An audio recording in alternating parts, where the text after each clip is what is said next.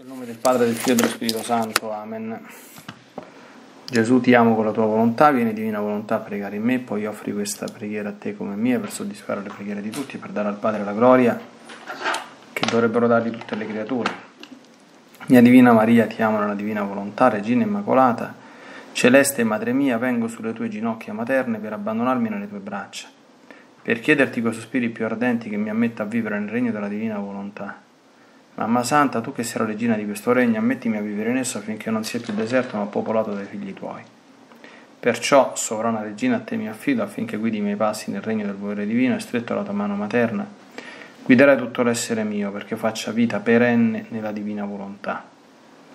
Tu mi farai da mamma e come mamma mia ti faccio la consegna della mia volontà affinché me la scambi con la divina volontà e così possa restare sicuro di non uscire dal regno suo. Perciò ti prego che mi illumini attraverso questa meditazione per farmi comprendere sempre più e sempre meglio che cosa significa volontà di Dio e come vivere in essa. Ave Maria, piena di grazia, il Signore è con te, tu sei benedetta fra le donne, e benedetto è il frutto del tuo seno, Gesù. Santa Maria, Madre di Dio, prega per noi peccatori, adesso e nell'ora della nostra morte. Amen.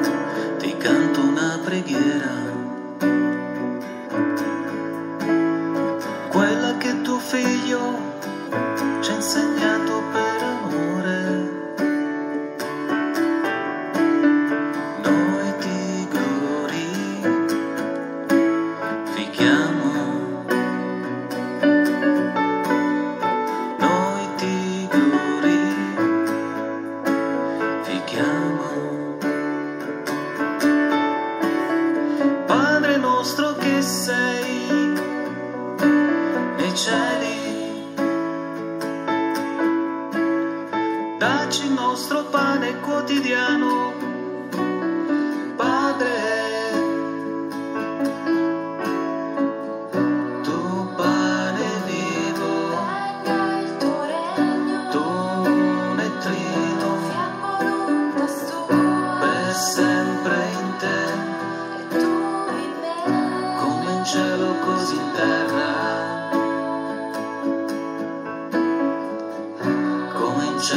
cose in terra. Pater noster quasi.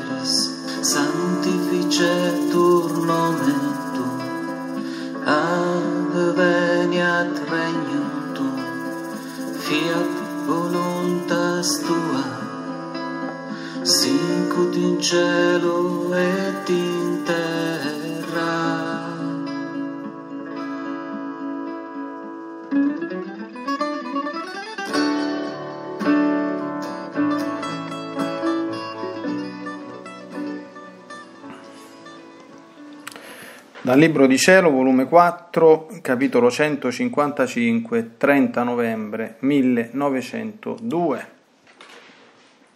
Trovandomi con timori, dubbi e agitazioni che tutto fosse opera del demonio, venendo il mio adorabile Gesù mi ha detto, Figlia mia, io sono sole che riempio di luce il mondo, ed andando all'anima si riproduce in detta anima un altro sole, in modo che questi soli, a via di raggi di luce, si saettano a vicenda continuamente. Ora in mezzo a questi due soli si riproducono delle nubi, quali sono le mortificazioni, le umiliazioni, le contrarietà, le sofferenze ed altro. Se questi sono veramente soli, hanno tanta forza con loro saettarsi continuamente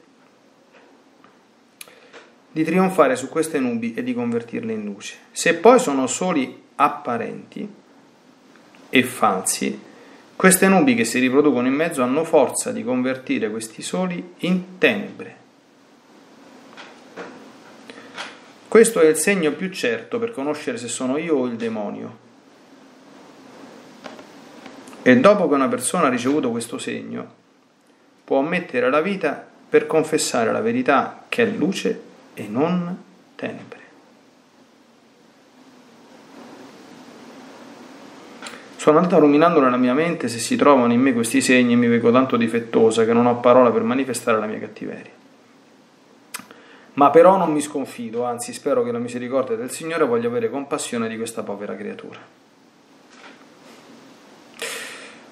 3 dicembre 1902, capitolo 156. Questa mattina, trovandomi nel solito mio stato e continuando i miei timori, nel, i miei timori, nel venire il benedetto Gesù gli ho detto Vita della mia vita, donde viene che non mi fate ubbidire agli ordini dei superiori? E lui.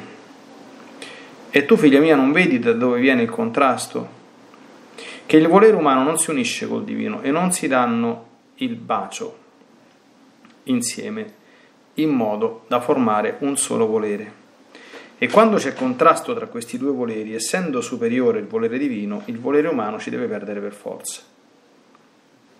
E poi che altro vogliono? Se io ti ho detto che se vogliono ti faccio cadere in questo stato, se non vogliono ti faccio ubbidire, riguardo all'obbedienza che io ti devo far cadere e io ti devo far riavere senza che loro vengano, lasciando la cosa indipendente da loro e tutta a mia disposizione? Resta a me se ti voglio tenere un minuto o mezz'ora in questo stato, se ti devo far soffrire o no. Questo resta tutto a cura mia e volendo loro diversamente sarebbe un volermi dettare leggi del modo, del come e del quando. Io devo fare le cose.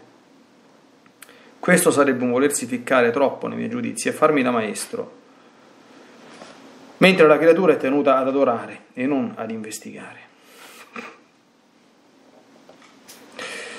Sono rimasta perché non ho saputo che rispondere, vedendo che non rispondevo, ha soggiunto.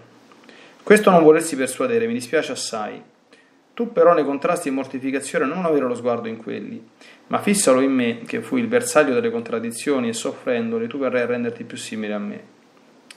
Così la tua natura non potrà spostarsi, ma ti resterai calma e quieta. Voglio che faccia da parte tua per quanto puoi ad ubbidirli, ed il resto lascialo a cura mia senza turbarti.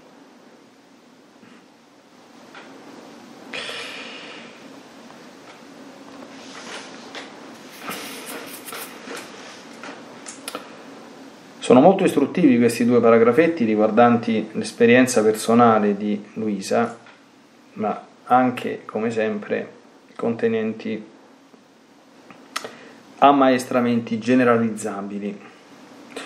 Oh, il primo, io devo confessare che anche per me, quando lo lessi per la prima volta, è stato una novità, una sorpresa, cioè nel senso che è chiaro che penetrandolo bene, questo criterio di discernimento era già noto in parte sotto certi aspetti ecco, nella letteratura ascetica e mistica, però Gesù specifica bene alcuni aspetti. Il problema è discernere se un qualcosa viene da Dio o dal demonio. In particolare qui certamente Luisa come tutte le anime eh, a contatto col soprannaturale, cioè la croce di dover discernere l'origine delle sue manifestazioni. Noi dobbiamo tenere presente una cosa, no? che quando su queste cose si indaga dall'esterno, la persona che ha ricevuto da, dalla Chiesa o dal Signore l'incarico di fare discernimento deve tenere aperte tre possibilità tre possibilità, che venga da Dio, che venga dal diavolo o anche però che sia in qualche modo mh, mm, frutto della fantasia o di qualche insomma turbamento psichico della persona o addirittura c'è anche una quarta ipotesi insomma no? remota ma cioè che si tratti come dire di, addirittura di, come dire, di, una, di una recita insomma di un, di un inganno ordito a tavolino non si sa bene poi per quale cose no? Eh, purtroppo nella storia della Chiesa, eh, come riportano insomma, alcuni santi, c'è stato di tutto e di più, compresi badessi di monasteri, con le levitazioni, questo lo riporta Sant'Alfonso che poi si è scoperto essere indemoniati, quindi i piedi di piombo che la Santa Chiesa usa sempre eh, sono più che giustificati purtroppo, ecco, perché uno non è che vuole fare il, il miscredente o l'incredulo o il razionalista, eh, però essendoci dei purtroppo pericoli concreti è necessario procedere con prudenza. È chiaro però che dalla parte del diretto interessato, eh, noi possiamo immaginarci questo stato, no? non avendolo vissuto, è chiaro che le alternative si riducono a due perché se la persona sa che non sta facendo la recita, che non sta ingannando e sa che eh, non è malata di mente o, o cose di questo genere, è chiaro che per lei vedere certe cose si riduce a una duplice alternativa, o sono cose che vengono dal cielo o sono cose che vengono dal demonio, perché comunque dentro la coscienza di quella persona eh, cioè è evidentissimo insomma, che un primo, una prima sfrondatura c'è, quindi questa non è opera che viene da me, quindi ce n'è uno in meno, su tre ne sono rimasti due. Ecco, diciamo che in linea di massima, in linea di massima mm, per quanto riguarda l'esperienza delle, delle, persone. Questo vale anche come criterio per noi, no? E generale, cioè è brutto segno quando la persona, come dire, è convinta che viene dal cielo a priori, senza aver fatto discernimento. Non è buon segno. È buon segno invece quando la persona, come dire, mossa da umiltà, dice: Ma ti pare che nostro Signore viene da me? Ma fammi un po' sottopormi al discernimento di qualcuno per raccapezzarmi qualcosa, insomma, perché a me sembra molto strano che Dio venga da me. Di per sé questo comportamento è molto più promettente del primo. Quindi quando una persona è già convintissima che gli parla lo Spirito Santo o, o la Madonna o San Michele o qualche santo chi per lui, a priori già questo è un pessimo segno non è escluso che, che lo sia, ma di per sé è un pessimo segno, perché non è certamente proprio dell'umiltà. È chiaro che quando si tratta invece però di cose che vengono dal cielo, il demonio pompa, nel senso che cerca di persuadere l'anima che si tratta di cose che vengono dall'inferno. Ecco, quindi in questo, eh, come dire, mh, mm, atteggiamento che di per sé stesso non è cattivo, quindi anzi è un buon segno, quindi dubitare e andarci con i piedi di piombo, non pensare subito a me mi pare la Madonna o chi per lui, è chiaro che se il diavolo ci pompa poi si può peccare per difetto, quindi cioè arrivare fino al punto, esagerando, di escludere, ah no, sono sicuro che una cosa viene dal diavolo, non ci sta niente da fare, non ci parlo manco insomma col confessore, cioè, quindi, e anche questo sarebbe un atteggiamento superbo. Perché è comunque un atteggiamento superbo il decidere su queste cose da, di, da, da soli, perché eh, quello che si applica nella legge civile, che io insomma conosco bene, nemo iudex in causa propria, si diceva già ai tempi del diritto romano, nessuno può essere giudice sulle cose proprie, si applica cento volte di più su queste cose qui, capito? perché anche se uno fosse un santo, ecco, il mio caro vescovo emerito, penso di poterlo dire, insomma, Monsignor Petrocchi, proprio oggi, quando cade questa meditazione, tra poco diventerà cardinale di Santa Romana Chiesa, con mia somma gioia, a noi diceva sempre una cosa, a noi giovani preti, cioè vedete, mm, i nostri occhi, anche i nostri occhi fisici, non possono guardarci, non, non se noi non ci avessimo uno specchio, noi non, non sapremmo neanche come è fatta la nostra faccia, perché i nostri occhi possono guardare tutti meno che noi stessi. Ecco, tenete sempre presente che così è nella vita interiore. D'accordo? Voi siete preti, no? Quindi dovete aiutare le persone, dovete confessare, dovete dare consigli. Ma attenzione, potete farlo su tutti meno che su voi, perché voi dovete chiedere a vostra volta aiuto. E una spia di questo è che il sacramento della confessione è stato dal Signore stabilito in modo tale che anche chi ha, cioè io per esempio la messa da solo la posso celebrare, d'accordo? Anzi è una cosa molto molto bella molto raccolta, molto intima, la confessione da solo io non la posso celebrare. Non la posso celebrare.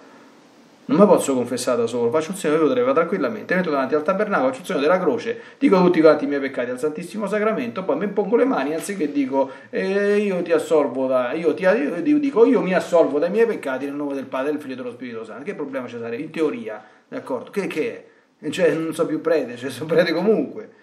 Non lo potrei fare perché la struttura del sacramento della confessione è stata blindata da Gesù in un altro modo. E questo perché? Perché pure il Santo Padre, eh, Francesco, il Papa Emerito Benedetto e così quelli che sono morti, avevano il confessore, il Santo Padre si confessa, d'accordo? E si confesserà certamente con frequenza, come tutti i santi uomini, d'accordo?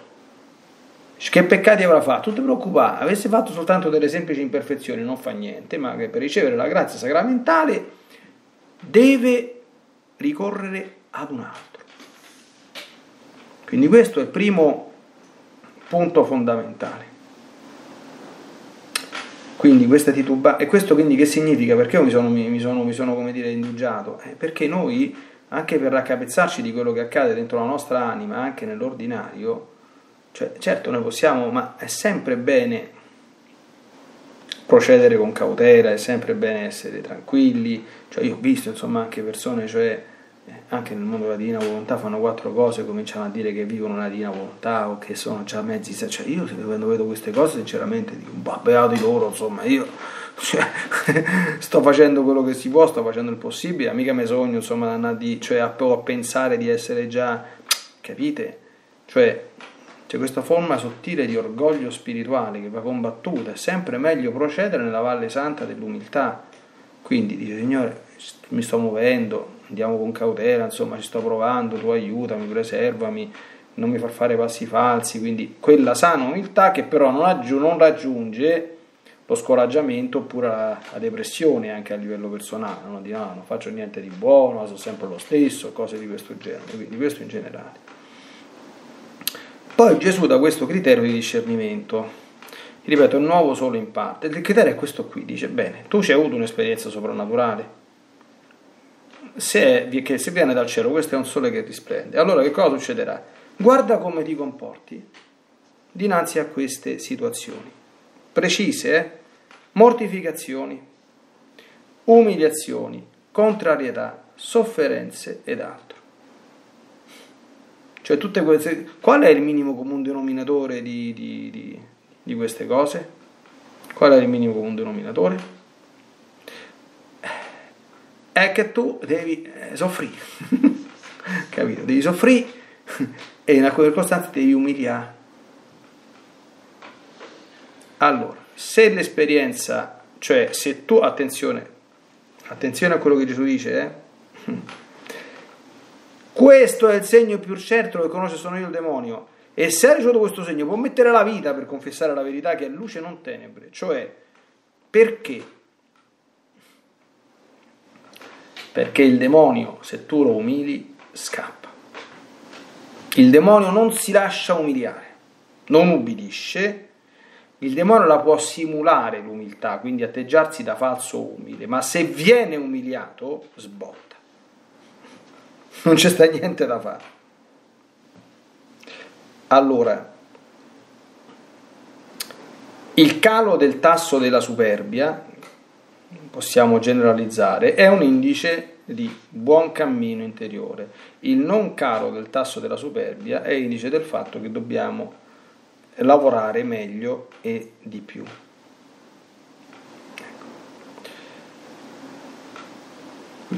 Se uno riceve una mortificazione, allora l'ho raccontato tantissime volte, no? L'ho raccontato tantissime volte.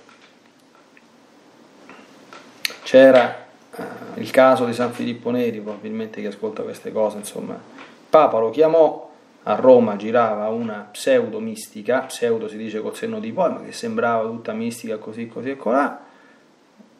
Papa disse, vai a dare un'occhiata per favore, ci vai incontri un attimo, parlaci due minuti, poi dimmi che, che, che cosa ne pensi, perché ne parlano tutti tanto bene, insomma, fosse una mistica, una santa.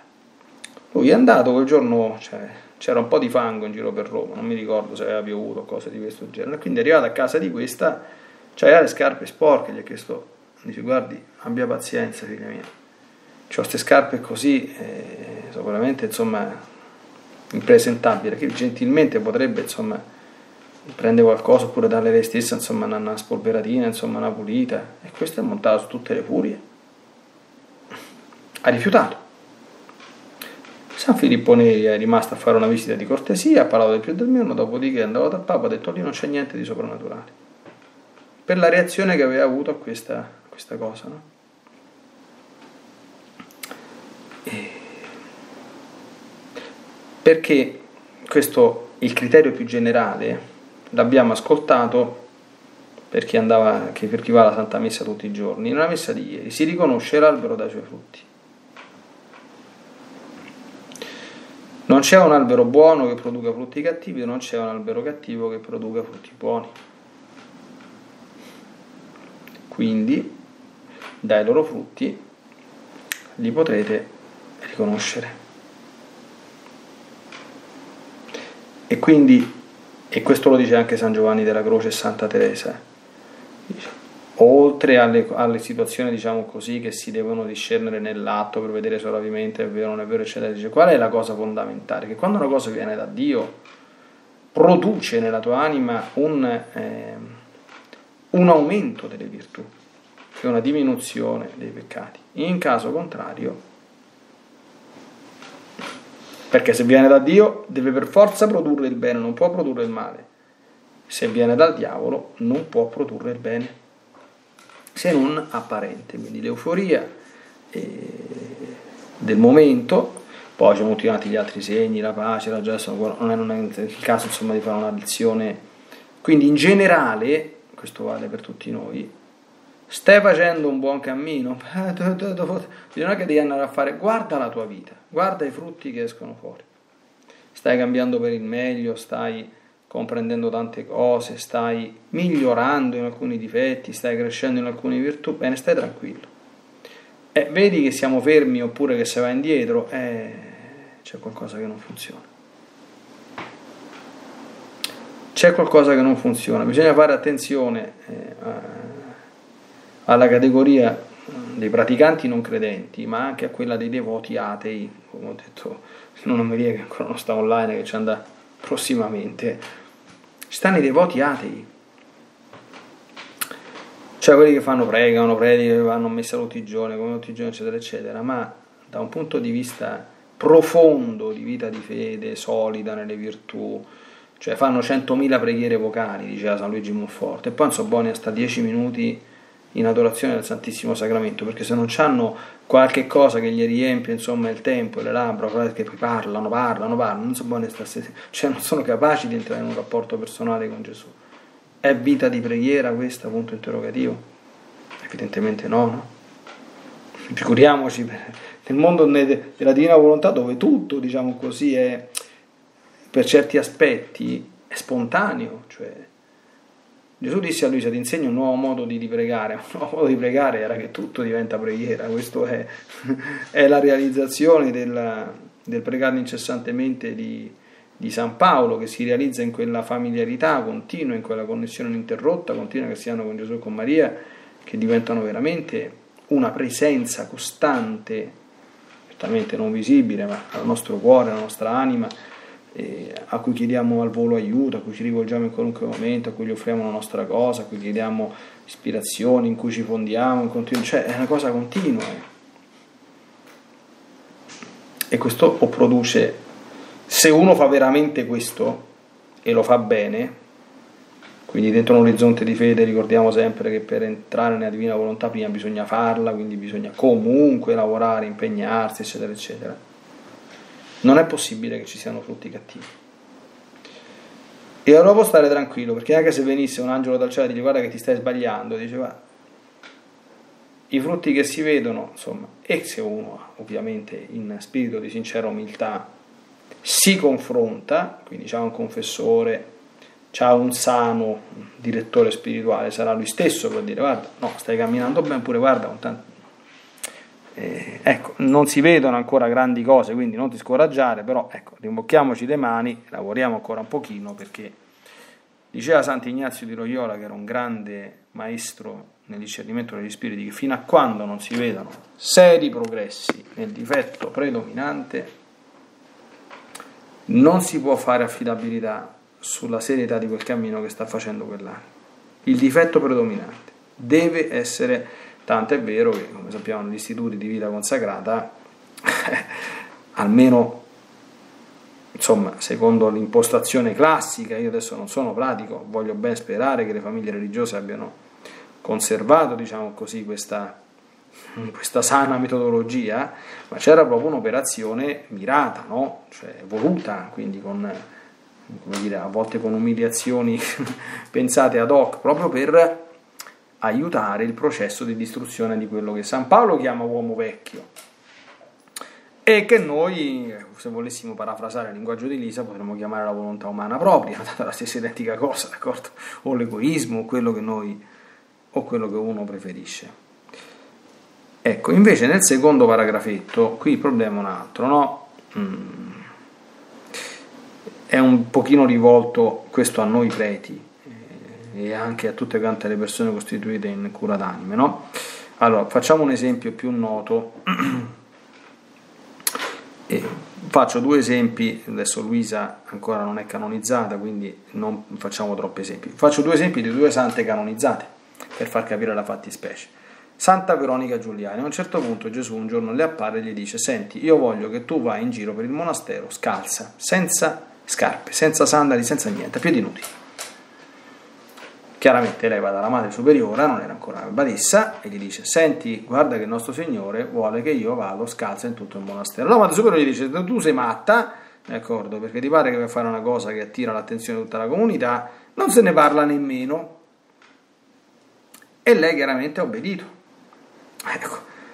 Solo che il nostro Signore, questo è l'esempio che sta facendo a Luisa, siccome questa cosa la voleva da, da, da, da Santa Veronica, per farlo capire al superiore, per far capire al superiore, dice sì, tu c'hai un potere di obbedienza, però stai attento che quando c'è dinanzi un'anima eh, che è sotto l'oggetto diretto delle mie cure, eh, la tua obbedienza deve essere, la tua autorità deve essere esercitata nel rispetto di quello che io voglio e tu a tua volta devi cercare di capire quello che io voglio e di esercitare l'obbedienza in maniera conforme a quello che voglio. Ma fa come ti pare, perché altrimenti qui sarebbe che tu ti fai più grande di me. Allora, per farglielo capire, ogni volta che si metteva le scarpe o qualcosa, gli si gonfiavano talmente tanto i piedi a Santa Veronica e Giuliana che non si poteva mettere. Dagli oggi, dagli domani e dagli dopodomani, un bel giorno la superiore ha detto Ah vabbè, vattene in giro scalzo e da quel momento i piedi si sono gonfiati più. Questa è una, no? E un'altra clamorosa eh, avvenne con Santa Margherita Maria Alacoc, no? Eh, in diverse circostanze, insomma, in cui eh, la mistica del, del, Sacro Cuore, è quasi finito il, il mese del, del Sacro Cuore, e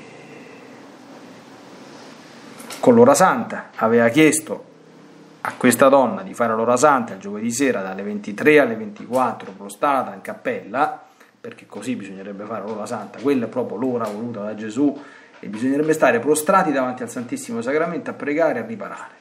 Questo, questo, se uno legge, abbiamo, fatto, abbiamo parlato fino a giovedì scorso nell'adorazione del mese di giugno, questo gli ha detto Gesù. Chiaramente a quei tempi, noi dobbiamo capire, in una comunità religiosa c'è una regola, capito? Quindi alle 11 e mezza le sole stavano già tutte a dormire, non era, non era come oggi, che qui si va a letto a mezzanotte alle 2, quindi prima vanno a dormire, ne vai un po' in cappella e poi va a dormire. No! Lì alle 8, alle 9 stavano tutti a letto, quindi dovevi svegliarti la notte e comunque devi fare una cosa che se qualcuno se ne accorgeva, nelle comunità religiose tutto quello che è singolare, si dice così, viene sempre visto di non buon occhio ed è giusto che sia così ordinariamente dai superiori. E quindi ha detto, ora santa vai prima a dormire, non a quell'ora di notte. E è successo il finimondo dentro un monastero. Il nostro Signore ha mandato una serie di cose, insomma. Eh?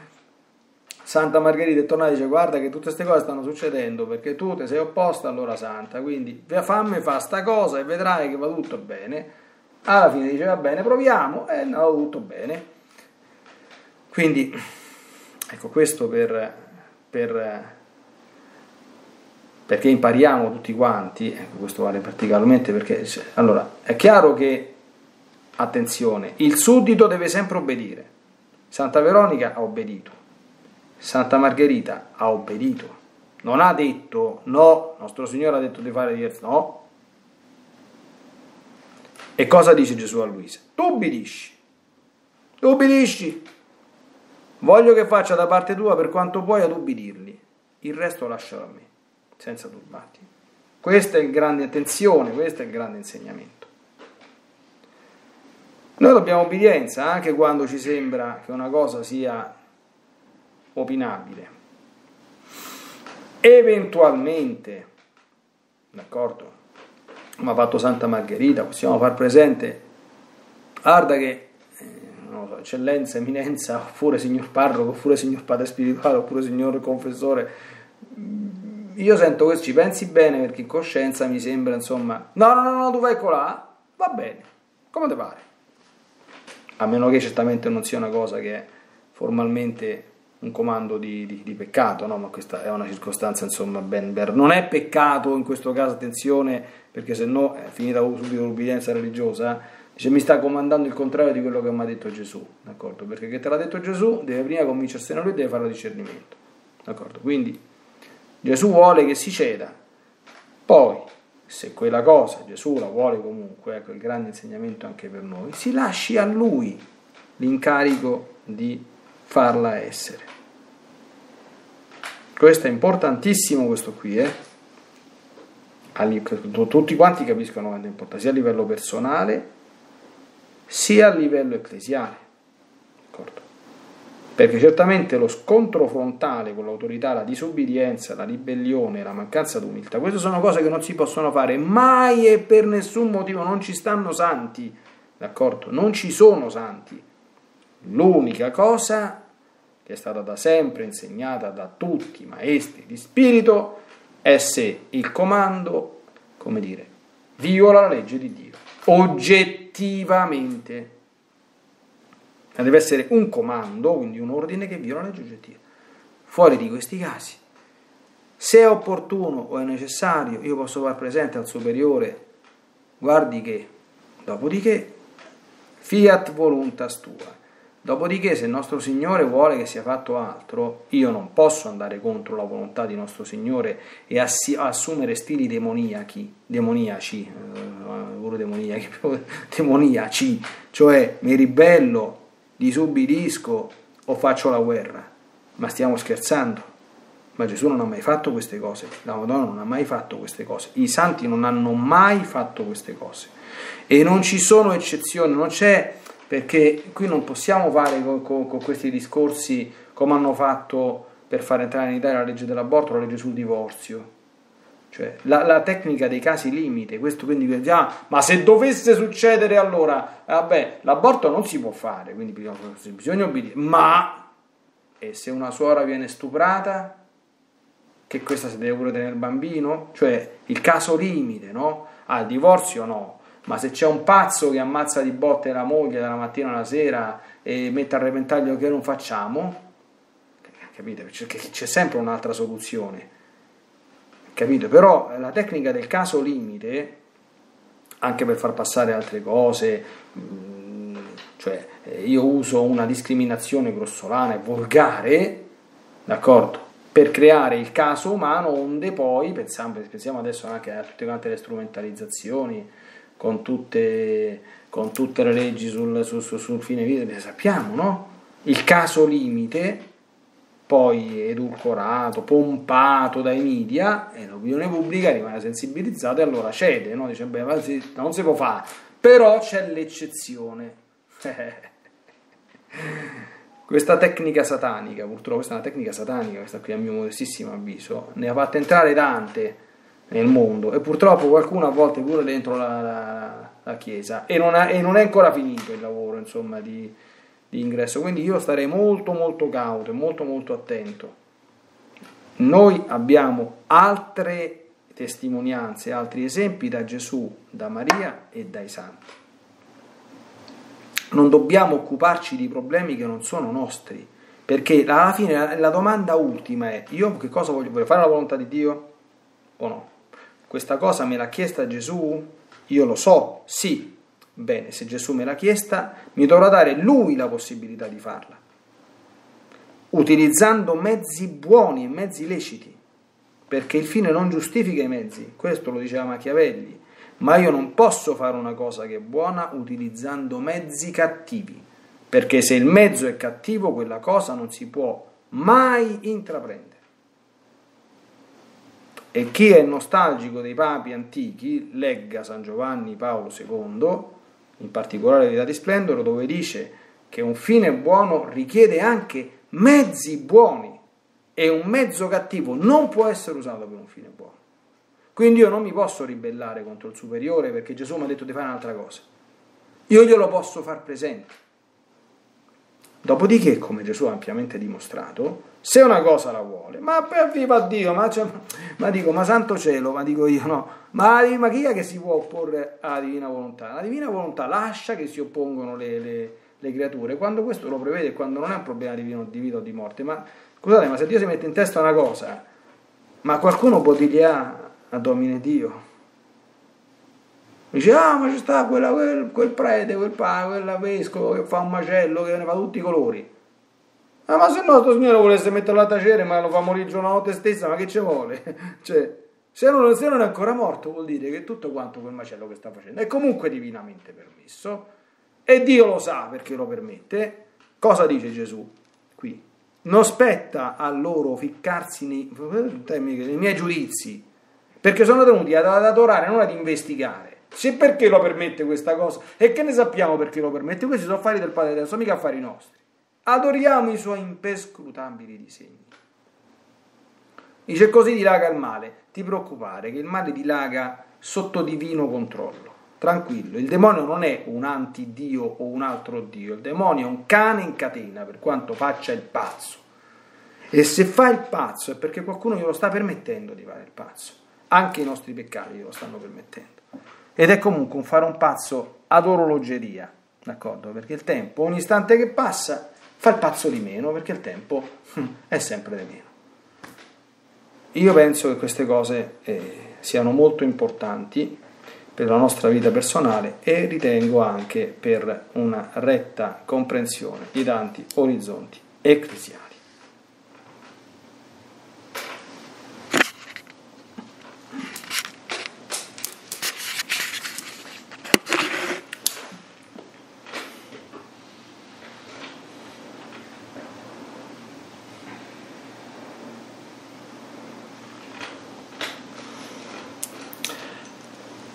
Santa Verginina Maria, noi abbiamo semplicemente, ripensando a, a quel gran criterio che ci ha dato Gesù, di pensare a quante umiliazioni, mortificazioni continue, contrarietà e sofferenze è stata esposta alla tua vita. Ci sarebbe da fare una meditazione che dura una settimana e neanche avremmo finito, insomma, soltanto a volerne considerare alcune e come hai reagito, tu che eri la piena di grazia, trasformando in soli tutte quante queste nubi e mai permettendo che esse oscurassero minimamente il sole divino che splendeva nella tua anima. E poi la grandissima esperta nella divina volontà eh, che hai fatto in tutto e hai sempre obbedito in tutto, eri sottomessa all'autorità di San Giuseppe e San Giuseppe ha avuto l'autorità su di te, ma l'ha esercitata in maniera divina e certamente in qualche circostanza, pur nella tua umiltà profondissima, possiamo immaginare, possiamo pensare, ecco che tu, piena di luce e di grazia come eri, abbia fatto umilmente notare al tuo sposo certe cose che egli indubbiamente, per la stima che aveva di te, avrà certamente tenuto in considerazione, forse anche in qualche circostanza rettificando le proprie idee o il proprio giudizio ma che possiamo sempre ricordare lo stile con cui tu, se hai fatto queste cose, io personalmente sono convinto di sì, ma lo stile con cui lo facevi, che era sempre lo stile umile, rispettoso e sottomesso dell'autorità che Dio aveva posto sopra la tua anima. Cioè, certamente era, una, era un'autorità insomma rispettosissima, ma tu l'hai vissuta e concepita come tale, basta leggere la mistica città di Dio di Maria da Grede insomma, per, per rendersene conto. Insomma. E aiuta anche noi nella nostra vita personale ed ecclesiale, a fare altrettanto. Nella divina volontà, nel nome del Padre, del Figlio e dello Spirito Santo, Ave. Ti benedico per aiutarti, ti benedico per difenderti, ti benedico per perdonarti, ti benedico per liberarti da ogni male, ti benedico per consolarti, ti benedico per farti santo, ti benedico dunque nella divina volontà, nel nome del Padre, del Figlio e dello Spirito Santo. Amen. Fiat Ave Maria.